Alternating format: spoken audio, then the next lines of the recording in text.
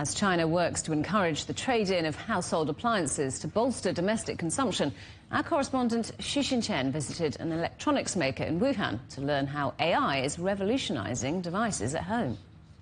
This tiny black flake is as light as a feather and no larger than my thumbnail, yet it is the brain behind modern home appliances and it enables this to talk, hear, and see. 小 T 小 T，打开空调。Yes, we have installed voice control so that the air conditioners now have ears. These ears can also detect our directions. Let me show you. Hey TCL, blow the air towards me. Look, the blades now direct the airflow towards me. You can also instruct the air conditioners to direct the airflow away from you for a softer breeze. Artificial intelligence can enable these air conditioners with more features in addition to listening and responding to us. With data collected from daily use, the AI system can monitor and detect malfunctions, suggesting repairs. Moreover, with the algorithm, it saves more energy, up to 40%. With changes in market demand and improvements in people's quality of life, smart home appliances are actually becoming increasingly common among consumers. Smart features are giving home appliances new traction. Estimates suggest that over 300 million units of smart home appliances were sold in China in 2023. The market size for smart home appliances in the country is a whopping 97 billion US dollars. Artificial intelligence is revamping home appliances, giving them new attractive features, and in fact, AI is also helping manufacturing become smart so as to ensure better quality and improved efficiency.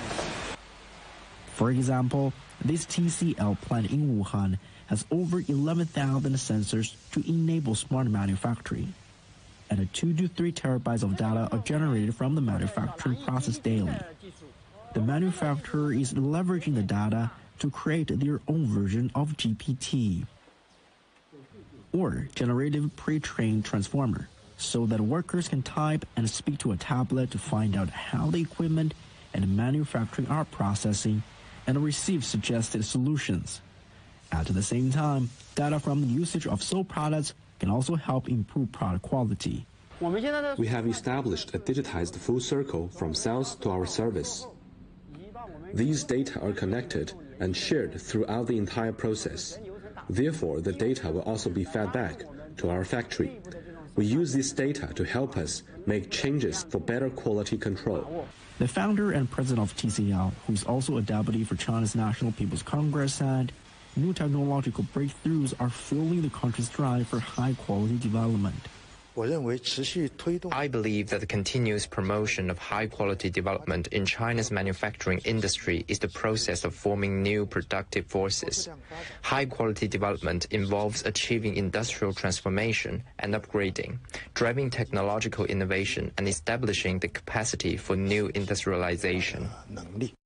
And modern technologies such as artificial intelligence are introducing new ideas and attracting new interest to more traditional industries such as home appliances.